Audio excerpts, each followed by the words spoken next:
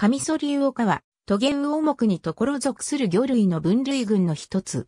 カミソリウオ属のみ一族で構成され、カミソリウオニシキフライウオなど熱帯性の沿岸魚のみ4ないし5種が記載される。加名の由来は、ギリシア語のソレンとストーマーから、カミソリウオ科の魚類はすべて海水魚で、インド太平洋の熱帯域を中心に分布する。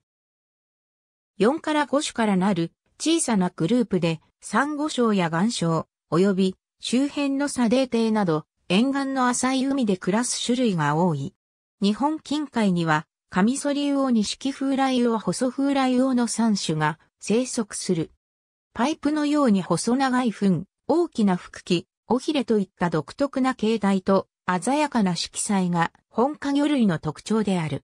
食用魚としての価値はほとんどないが、観賞魚として世界各地のアクアリウムで飼育される。本科魚類はあまり活発には遊泳しない低生魚でサンゴや海藻の間を漂うか海底で体を休めていることが多い。食性は肉食性で低生性の小型無脊椎動物や動物プランクトンを主に捕食する。メスは腹部に変形した腹びれによって形成された育児のを持ち、受精卵を保護する習性がある。禁煙の幼児魚科では、育児能を持つのはオスだが、本科では逆になっている。カミソリウオ科の仲間は短く側平たした体型を持ち、全身が硬い骨盤に覆われる。最大で全長16センチメートルほどの小型魚類で、細長く伸びた、ほっと大きな腹気、尾ひれを特徴とする。錦風来魚は、全身を細長い皮弁に覆われる。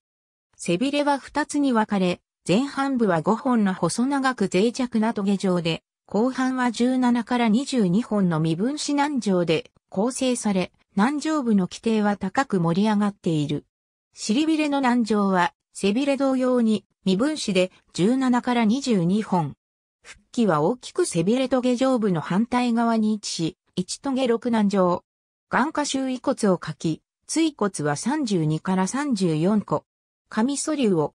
本種はしばしば海藻の断片に擬態した体色を持つ、カミソリウオ科には、ネルソンの体系において一族4ないし5種が認められている。